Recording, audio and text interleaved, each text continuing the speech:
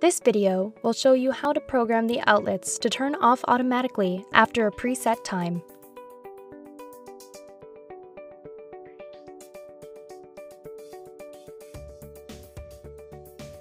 First, enter the outlet timer menu using the key sequence shown. A blinking light means you're in.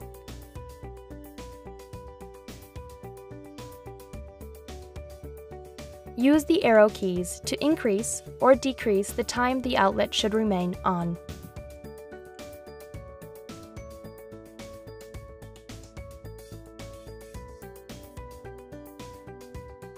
Press the wave key to accept the time or the silence key to abort.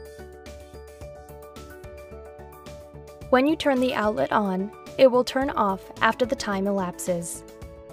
A blinking light above the outlet key indicates the timer is active.